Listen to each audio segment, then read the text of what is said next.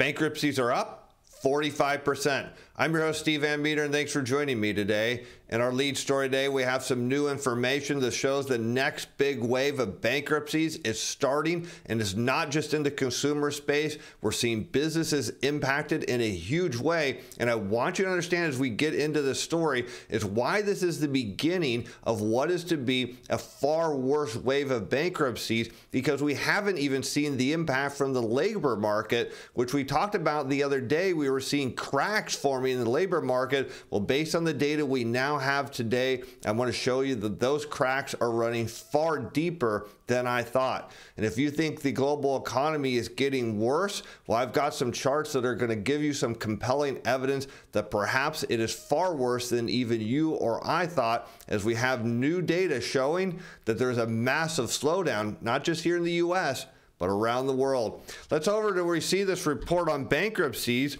with a headline February bankruptcy filings register a whopping double digit increases across major filing categories over last year. Now, I want you to keep in mind as we go through the story what was the big thing that was happening last year? Well, we still had people that had pandemic money. We were coming off a lot of these, you know, pandemic programs that kind of put a suspension to bankruptcy filings. So it was a matter of time before we saw people start to run out of money, and in particular during a slowing economy. You know, we use the analogy on the show all the time about musical chairs, and with the economy rolling around and there not being enough chairs for all the people. So, in terms of when the economy starts to run out of money and the music stops, well, what should we see is an increase in bankruptcies? And we did.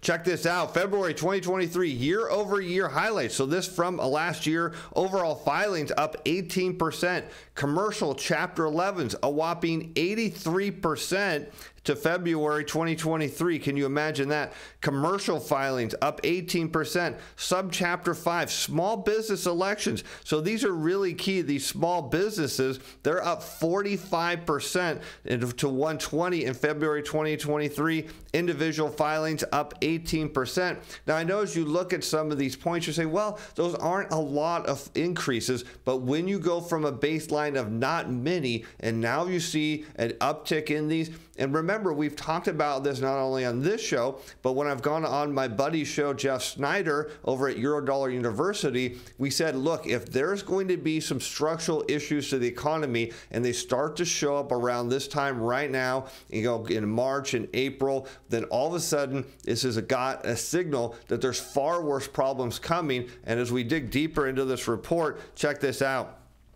The growing number of households and businesses filing for bankruptcy reflects the mounting economic challenges they face. Debt loads are expanding as the price of goods and services have gone up with inflation. Of course, we knew that was happening, and the cost of borrowing continues to rise. Now, so there's the kind of idea here is, well, wait a minute, it's just the problem is the cost of borrowing is too much. What they're missing is two other factors. One we talked about on the show yesterday, and that is lending conditions are tightening. So if you needed money, if you're saying, hey, wait, I'm running out here, I need some money to keep my household running or my business running, and you go to the bank and you effectively get told no, well, that's a huge factor as well. And you tack that on top of what they think they're else they're missing is a slowing global economy. Well, you have the perfect storm for a huge rise in bankruptcies. And of course, those of you who are really savvy are thinking right now, wait a minute, haven't you been telling us that that M2 money supply is going negative? Well, yes, it is. And if there's less money out there to pay on debts, well, then we're going to see them in bankruptcy. And while pandemic relief efforts have largely expired, the safe haven of bankruptcy is continually available for financially distressed businesses and consumers. And of course, we knew that this data point went way down during the pandemic. Again, not only due to the suspension of people filing bankruptcy, but they had money from the government to pay on their loans. But now that's starting to shift. And something that we did not want to see happen and is now happening is some major problems in the labor market. Let's over to CNBC with this story. Layoffs are up nearly fivefold so far this year, with tech companies leading the way. Now, we knew tech was laying off in a big way, but look at this.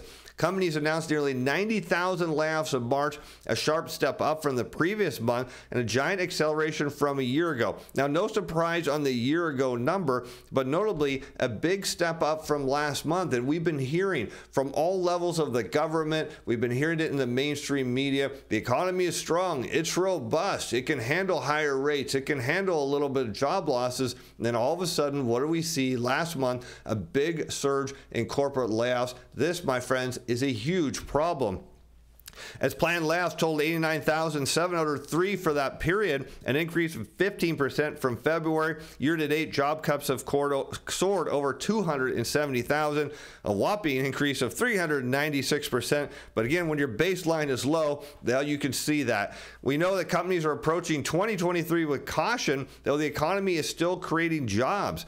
With rate hikes continuing and companies reining in costs, large scale layoffs we're seeing will likely continue. And that's a good point is, you know, companies, as it says here, reining in costs. And well, what is a good way if your company, you know, is seeing that slowdown and experiencing that and saying, wait a minute, we might be running out of cash soon. We might not be able to get money from the bank. We maybe we're in a position as a company to file bankruptcy. Well, how do you rein in your costs? Well, you get rid of your number one expense, that is employees. And I'm going to show you when we get to the end of the show, when we look at these charts, why we're going to see a whole bunch more layoffs here in the months to come. And it's not going to be a pretty picture.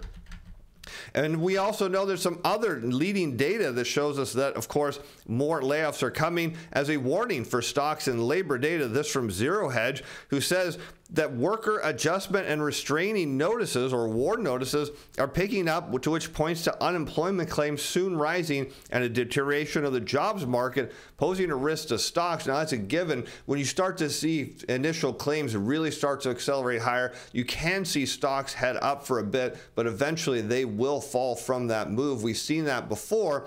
But what is this WARN notice, if you're wondering, is for companies that have 100 and more employees. Well, if you may, if you're going to lay them off or do some retraining, well, you've got to put out a notice.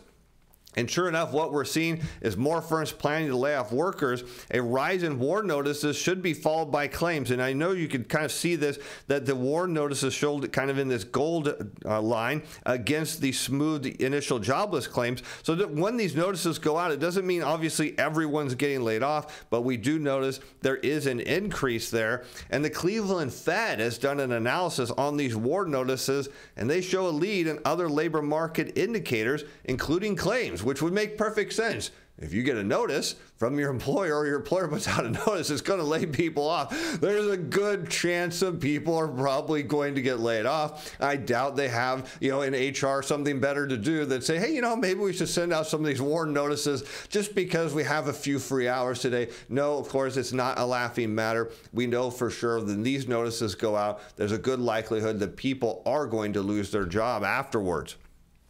And this leads changes in the unemployment rate and changes in private employment, which should not be a shock, with the strongest lead relationship over just one month.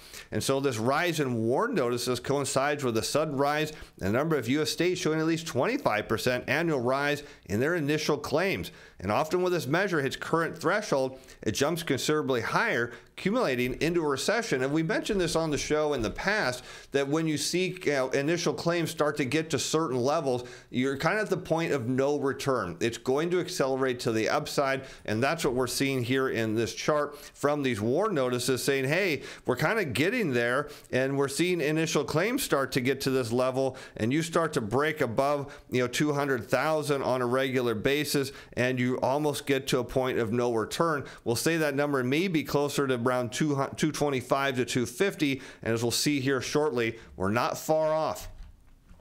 As U.S. jobless claims get bumped up by revisions for seasonal swings, this from Bloomberg, as initial unemployment claims were 228,000 in the week ending April 1st, and the prior week was revised up by 48,000 to 246,000, according to the Labor Department.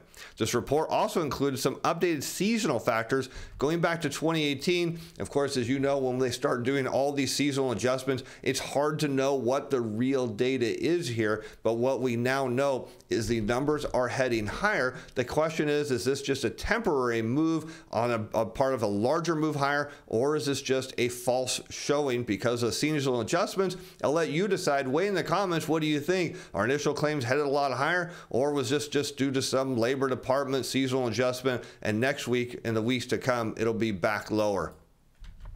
Continuing claims, which include people have received unemployment benefits for a week or more, are a good indicator of how hard it is for people to find work after losing their job, which was little changed at 1.82 million in the week ending March 25th. So that's a good sign. But here, let's talk about how do we know that these initial claims are headed higher? How do we know that this will lead to more bankruptcies? Well, it's simple. You're going to see the economy continue to slow down, which will make the case in the following slides.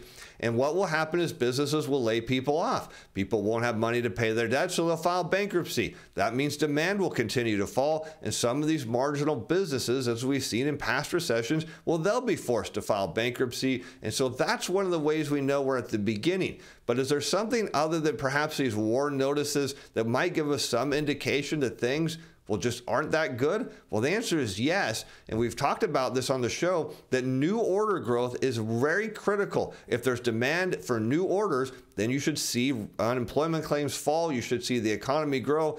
But if you see initial or new order demand fall, well, then you don't need as many employees because if you don't have the orders to put them to work, well, then you show them the door. Let's head over to the Philly Fed here.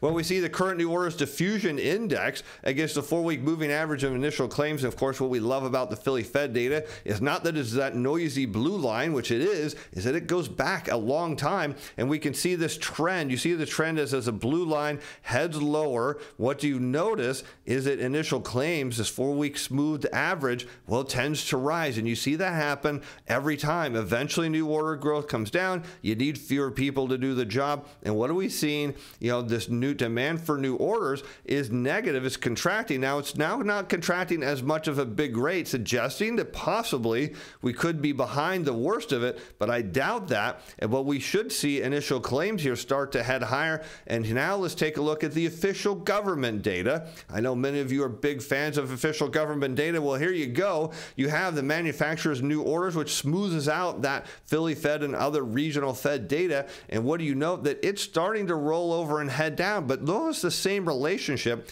Again, as the official data heads lower, initial claims head higher. And you see that repeat over and over. And some of you might say these charts almost kind of look like mirrors of each other. Well, they do. And that's because when you again you see demand in new orders decline, you typically need fewer employees and you start to lay them off. So if we see here that of course new order demand continues to fall and we've made the case why we should see that, then initial claims should start to head higher. But is there any other evidence that shows the global economy is slowing? Well, there is, and then we got that data yesterday. Here we can see exports and imports down, exports falling to 251 billion from 258 last month, imports down 321 billion to 320 from 326 last month. And of course, when you're part of the world's largest importer, which is the United States, when you see imports falling, it tells you demand is declining. What you want to see in, is, in an expanding global economy is both imports and exports rising. They don't have to be every month, but you want to see the trend increasing. But if you see the trend decreasing and missing expectations, well, it's an ominous sign that more layoffs are coming. And here you have the imports of goods and services. This is total imports to the U.S. on a year over year rate of change against that four week moving average of initial claims. And notice again, when we see tend to see decelerations in imports, you see an acceleration in job layoffs. And so we're seeing that now as imports fall, and we should see initial claims rise. And what does that mean for inflation? Well, we look at the price index, which we'll get an update here on a couple of weeks and the price index is headed lower, that means the consumer price. So we've seen import prices in blue head down. That means broad consumer prices should head lower as well, which all bodes to the fact that this beginning wave of bankruptcies is going to get a whole lot worse, my friends, particularly when we see these initial claims continue to tick higher, which I believe we will. And with that, I'm Steve Van Metre. Thanks for watching. Thanks for being fans. Bye now.